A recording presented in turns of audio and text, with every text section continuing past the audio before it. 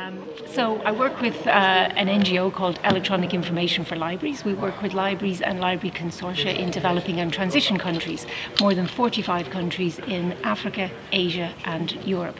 And I manage a program on copyright in libraries called EIFL IP that advocates for fair and balanced access to, um, to, to information resources and fair and balanced copyright laws that promote the library perspective in providing access to knowledge.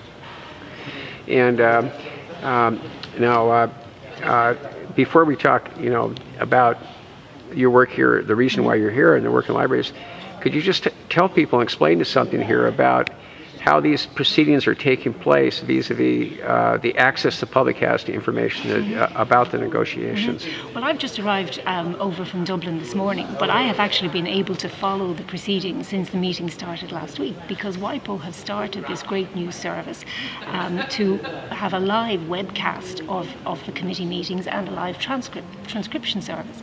So you can follow the proceedings in real time. It's like as if you're sitting here in the meeting, and in fact, you have even a kind of a better view because you, you can see the faces of the delegates as they're speaking and all the people all around them. So although, although I've only arrived this morning, I feel like I've been here all week. I feel like I've been kind of taking part in, in the negotiations. And uh, with my other library colleagues, we have a Skype chat going on. So it's really, you know, really a great new service. And I think it really promotes transparency. Um, it promotes the work of the committee. And, and I've been able to, you know, as a result, my colleagues, my library colleagues in libraries all around the world, from Armenia to Zimbabwe, have been tuning in and following the broadcast. So I think it's really a, a, a way that people can get a flavour of what their delegations are saying, um, what the different positions of the different countries and regions are, and how this whole kind of international copyright system works. And could you compare this, to, say, to the ACTA negotiations? Well, um, I think there is no comparison. Um, I mean, the ACTA negotiations were done in almost total secrecy. Um, there was, there was, uh, you know, uh, certain NGOs were given certain access to certain documents at certain times, and, and you know there is just no comparison. So I think it's a really, really um, great new service that they're offering here at WIPO, and I think it would be a, a, an example for other organisations and other institutions for how um, uh, results can be achieved, but in an open and a transparent way. Well, thank you, uh, uh, uh Teresa, and. Um, uh, I, I, shall disclose as the interviewer that I'm also a, a member of your, I think I'm, I'm, still a member of your advisory you board. Are a very valued member, thank you. so, just to get that on the table, can you tell us why you're, uh, why you're in Geneva today and, and uh, what you're looking to accomplish mm-hmm. here? Well, we're um, attending uh, this meeting of the SCCR, which we, have been following the SCCR um, uh, committees for more than eight years now, um, in particular following the agenda item on exceptions and limitations. And as you know, there's a work programme um, on three different areas, so blind and visually impaired people, libraries and archives, and education and research institutions. And so um, this series of meetings um, where there was a specific focus on a particular subject has been like an important um, part of the, the, the work programme for us. So uh, 18 months ago, there was a special focus on blind and visually impaired. At the last meeting, there was a special focus on libraries and archives, and this meeting has a special focus on education. But in particular, what we want to achieve at this meeting is we want to um, have an agreement on a text for a treaty for blind and visually impaired people because we think that that's very important that, that goes forward.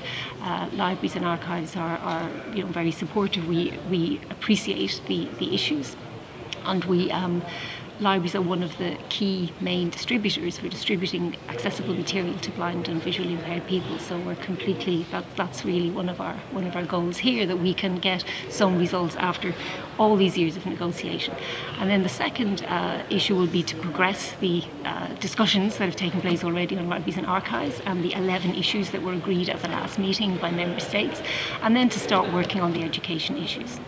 Um, and then in terms of uh, the kind of for the committee going forward, so we 2012 it's the end of uh, there was a two-year work program from 2010 to 2012 so at this meeting there will be an agreement um, on the work program for the next two years so that would be another important um, aspect that we get an agreement and a clear work plan on how we progress the work over the next couple of years and they'll, they'll take up the uh, work program you think on uh Wednesday, right? Probably. Probably. And probably go pretty late. Do you think? Uh, they often do. They often do. Yeah. So, so, um, I, but I, I think, I mean, there's, there's, there's we're, we're in informal sessions right now on, I think it's broadcasting, um, and then this evening informals on blind and visually impaired um, treaty, and um, and then the next issue will be the conclusions. Yeah. Have uh, do you know what the position is of the uh, our government of Ireland on the nature of the instrument for people with disabilities? Um, well, Ireland is a member of the EU, and as I understand it, um, Ireland is following the position of the EU. Um, but they've, I, I, I've not seen or heard any leadership on this issue from the Irish delegation. But Ireland will be um, will be taking over the presidency of the EU in January 2013 from Cyprus. So um, I would expect them to be taking a more proactive role over the next six months. Thank you, Teresa. Is there anything you want to add before we conclude the interview? No, I think that's. Uh, I think I've said.